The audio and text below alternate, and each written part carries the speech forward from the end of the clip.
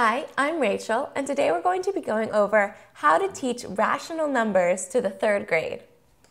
The definition of a rational number is something that can be expressed as a over b, a fraction, right, as we know it.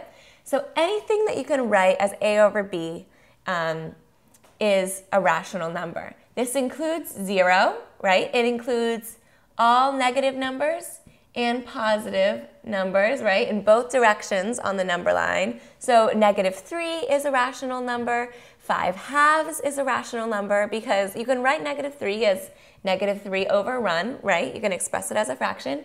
5 halves you can write as a fraction. That's a rational number. An example of an irrational number is something like pi. And third grade is usually a good time to start introducing the concept of pi.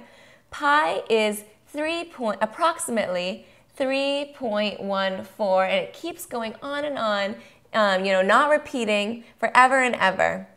And we cannot write this as a fraction like a over b, and so it is an irrational number. Even if a number repeats, such as 8 ninths, right, when you divide it, that's going to go on and on, 0.8 repeating. But you can write it as a fraction, and so it's rational. Pi, we cannot write as a fraction, so it's an irrational number. I'm Rachel, and thanks for learning with us today.